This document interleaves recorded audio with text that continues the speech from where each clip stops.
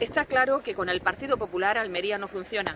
Prueba de ello es el estado en que se encuentra el entorno del polígono industrial del sector 20, donde se ubican algunas de las empresas más importantes de nuestra ciudad y a las que a diario acuden cientos de personas a trabajar. Escombros, ramas de las podas municipales, enseres viejos e incluso restos de amianto y basura de todo tipo se acumulan aquí, sin que el ayuntamiento haga nada para evitarlo. El punto de vertido más importante y el que a menudo se incendia está aquí, en un solar municipal, donde los empresarios temen que algún día el fuego afecte sus naves. Es un problema ambiental, de seguridad y de imagen de la ciudad. Por eso, desde el PSOE le pedimos a la alcaldesa que limpie esta zona, que vaya el solar municipal y que lo adecente,